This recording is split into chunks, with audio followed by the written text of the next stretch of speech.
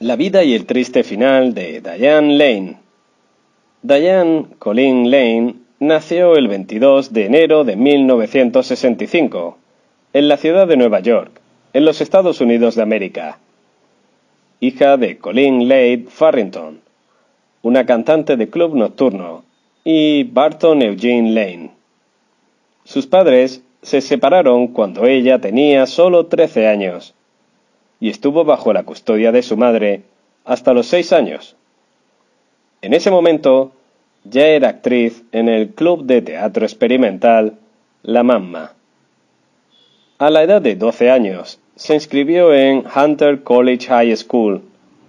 Para esa época se le ofreció un papel junto a Meryl Streep en la obra The Cherry Orchard. En 1979 debutó en el cine con A Little Romance, ganando reconocimiento por su trabajo. Posteriormente apareció en la portada de Time.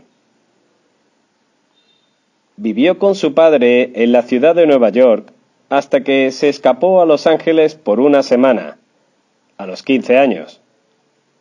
Después de regresar a Nueva York, se matriculó en la escuela secundaria en 1981, antes de que su madre la secuestrara y la llevara a Georgia. Después de una acción legal, regresó a Nueva York. En 1983, apareció en las adaptaciones cinematográficas de S.E., las novelas para adultos de Hinton, The Outsiders y Rumble Fish pasan a papeles adultos más serios. En 1984 apareció en dos películas, Streets of Fire y The Cotton Club. Las películas no pudieron hacer que su carrera se disparara.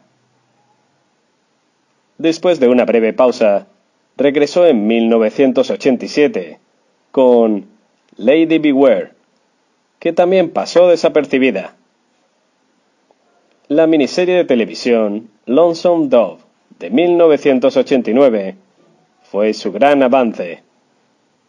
Por su actuación en la miniserie, también obtuvo una nominación a los premios Emmy. En 1992, su película Manu Gun obtuvo elogios de la crítica y su actuación fue apreciada en el Festival de Cine de Cannes.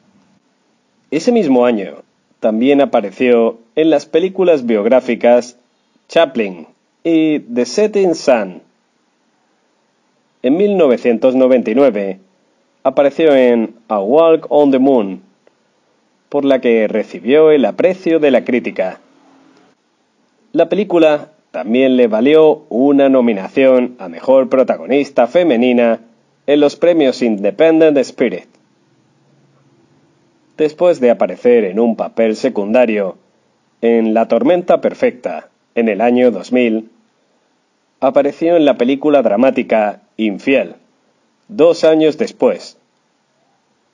Su papel en la película fue muy bien acogido por la crítica y también ganó grandes elogios del público. En 2003 protagonizó Bajo el Sol de la Toscana por la que obtuvo una nominación al Globo de Oro en la categoría de Mejor Actriz. En 2008 apareció en Nights in Rodante, junto a Richard Gere. El mismo año también interpretó papeles secundarios en Jumper y Untraceable. Al regresar al teatro en el año 2012, actuó en la obra Sweet Birth of Youth, en el Goodman Theatre. Ese mismo año, también apareció en el documental Half the Sky, Turning Oppression into Opportunity for Women Worldwide. Apareció como Martha Kent en la exitosa película de 2013 El hombre de acero.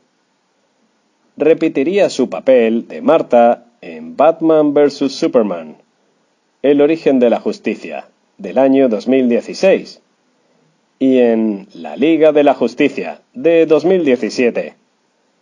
En 2015, prestó su voz al personaje de la madre de Riley, en la exitosa película Inside Out. Ese año también se la vio en el drama biográfico Trumbo. Del año 2016 a 2019 se la vio en películas como París puede esperar, de 2016, Mark Felt, El hombre que derribó la Casa Blanca, de 2017, y Serenity, de 2019. Mientras tanto, en 2018 tuvo un papel recurrente en la serie web de suspense político Houses of Cards. El mismo año fue elegida para interpretar a la senadora Jennifer Brown en la serie dramática de televisión Y. En cuanto a su vida personal, Lane conoció al actor Christopher Lambert en París mientras promocionaba The Cotton Club en el año 1984. Tuvieron una breve aventura y se separaron, pero se reencontraron dos años después en Roma para hacer una película juntos, titulada Priceless Beauty, y en dos semanas volvieron a ser pareja. Lane y Lambert se casaron en octubre de 1988, en Santa Fe, Nuevo México. Tienen una hija, Eleanor Jasmine Lambert. Tras una prolongada separación, se divorciaron en marzo de 1994.